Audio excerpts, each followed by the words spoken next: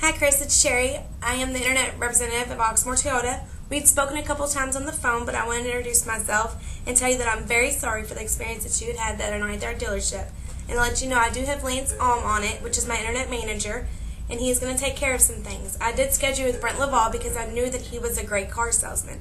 So when you do decide to come back, we will have that Tundra there for you to test drive, and we will get you in the one that you will prefer. If you need anything at all, you can reply back to my emails or give me a call at 502 214 7085. Hope you have a great night. Bye. Bye, Kathy.